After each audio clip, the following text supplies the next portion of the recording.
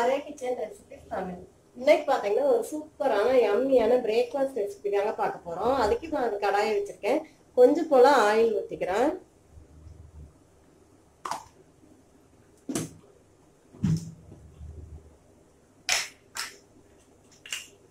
Oil நல்லா காஞ்சதுக்கு அப்புறமா கொஞ்சமே கொஞ்சம் சோம்பு போட்டுக்கிறேன். இங்க பாத்தீங்கன்னா ஒரு கப் போல வெங்காயம் பெரிய வெங்காயம் சாப் பண்ணி வச்சுக்கேன் சின்ன சின்னதா கொஞ்சம் போல கொத்தமல்லி தலை கொஞ்சம் கருவேப்பிலை. இப்போ சோம்பு பொரிஞ்சதுக்கப்புறம் இதையும் சேர்த்துக்கிறேன். டெய்லி ஒரே மாதிரியே சாப்பிட்றதுக்கு இந்த மாதிரி வித்தியாசமா செஞ்சு சாப்பிடலாம். கொஞ்சம் உப்பு போட்டுக்கிறேன் வெங்காயம் வதங்குற அளவுக்கு. வெங்காயம் நல்லா வதங்கட்டும்.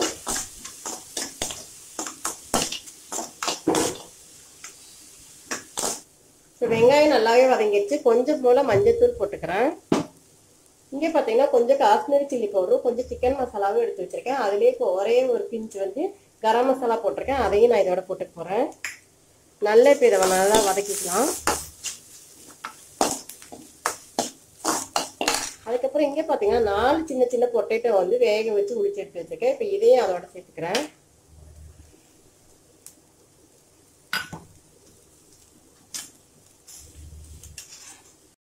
நல்லா ம மசிச்சு சேர்த்துக்கலாம்.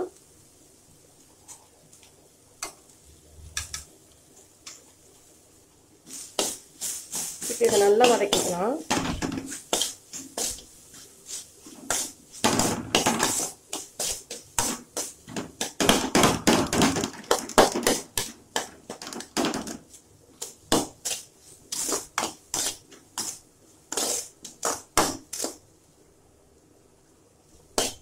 இப்போ இது கொஞ்ச நேரம் ஆறட்டும் அதுக்கப்புறம் எப்படி பண்ணலாங்கன்னு பார்க்கலாம்.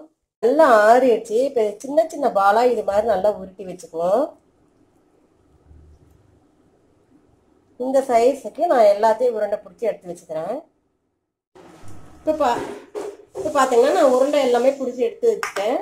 அதுக்கு முன்னாடியே பார்த்தீங்கன்னா நான் சப்பாத்தி மாவு ரெண்டு மணி நேரத்துக்கு மேலேயே பிசைஞ்சு இது மாதிரி ஊற வச்சு எடுத்து வச்சுருக்கேன். இப்போ இதுலேருந்து ஒரு பால் எடுத்துக்கிறேன். நல்ல பெரிய சைஸாகவே எடுத்துக்கிறேன்.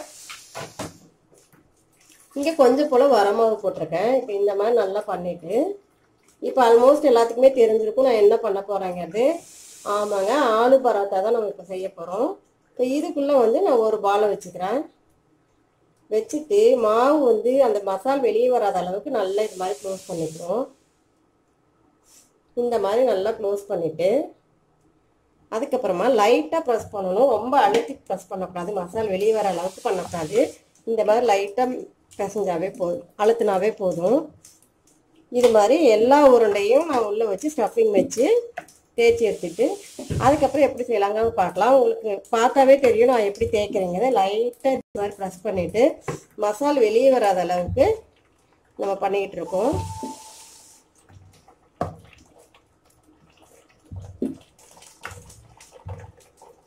இது மாதிரி எல்லாத்தையுமே நான் தேய்ச்சி எடுத்துக்கிறேன். இப்போ இங்கே தோசைக்கெல்லாம் நான் அடுப்பில் வச்சுட்டேன். இப்போ நான் வந்து ஒவ்வொரு பரோட்டாவாக சுற்றி எடுத்துட்டு போகிறேன் கொஞ்சம் போல் ஆயில் ஊற்றிக்கிறேன்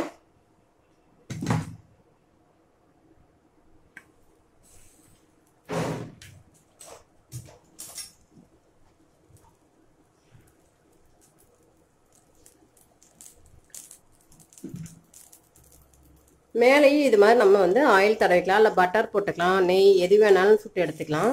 நெய் ஊற்றி செஞ்சிங்கன்னா இன்னும் வாசமாகவே இருக்கும். நான் இப்போ ஆயிலும் நெய் ரெண்டு கலந்து தான் இது பண்ணியிருக்கேன்.